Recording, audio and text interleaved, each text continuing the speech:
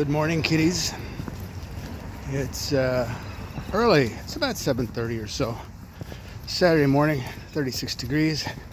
I got to go drag this infernal gate open this morning because it's uh, not working. Uh, again, shocking, I know. And shoving it closed last night was loads of fun.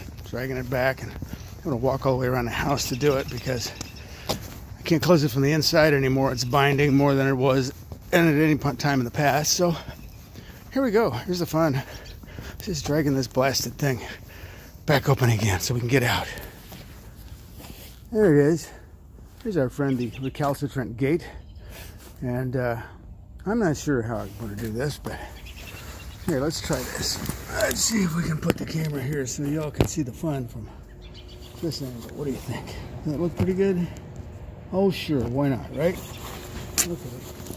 Think gloves are in order. It's 36 degrees, wind chill's about 34, maybe less. So here I go. See if I can get this thing here.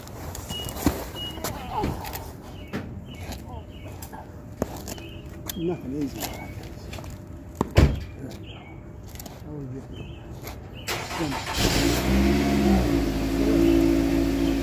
So, now I can do this.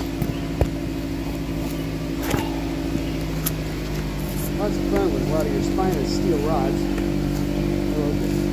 Oh my God, thanks LiftMaster. What a great morning.